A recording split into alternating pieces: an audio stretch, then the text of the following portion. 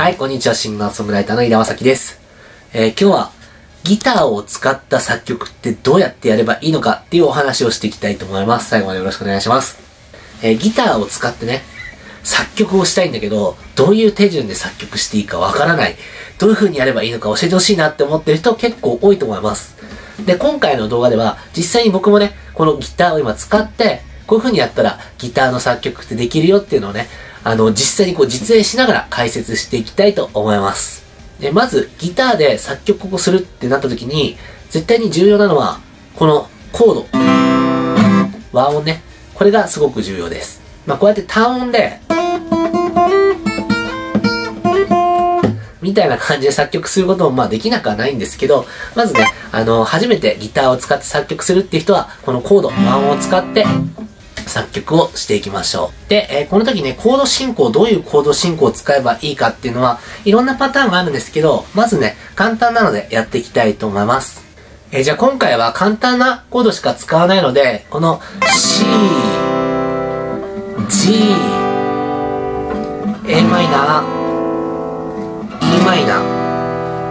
この4つだけで曲を作ってみたいと思います。まあ、実際にちょっとやってみようかな。la la la la la la la.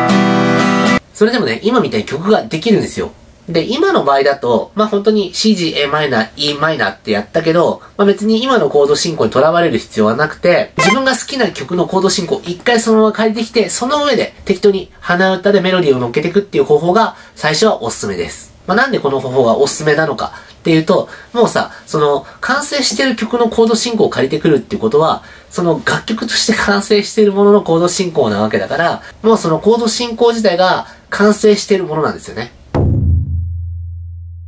あの日の悲しみさえ、あの日の苦しみさえ。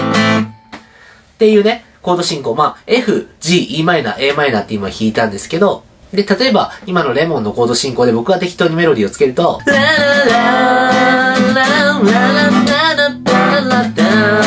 みたいな全然違う曲になったじゃないですか。まあ今みたいな感じでね、全く同じコード進行でも違うメロディーがつくと、全く違う曲になるんですよ。なのでね、まず自分がまあこのコード進行自分は好きだからこれで曲作りたいっていうのがあるならいいんですけど、なんかそういうのってわからないし、初めてギターで曲作るしっていう場合だったら、自分が好きな曲のコード進行を一回借りてきて、その上でね、自分で鼻歌でね、メロディーをつけてみるっていうのをやってみてほしいなと思います。ギターでの作曲っていうのは、まずコード進行を作ってから、その上にメロディーを乗っけるっていう形でやっていくのが一番いいです。ということで今回はギターを使った作曲ってどういう風にやるのかっていうお話でした。最後まで見てくれてありがとうございました。